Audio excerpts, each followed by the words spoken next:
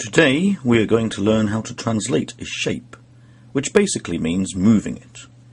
A translation is defined by a column vector written like this, with a value for x and a value for y.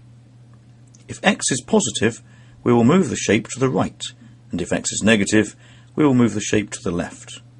If y is positive, we will move the shape up, and if y is negative, we will move the shape down.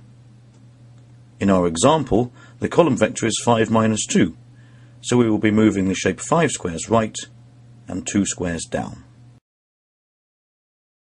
1, 2, 3, 4, 5 right, 1, 2 down. 1, 2, 3, 4, 5 to the right, 1, 2 down. And now we're in a position where we can finish our shape by using our two dots and comparing it with the original shape.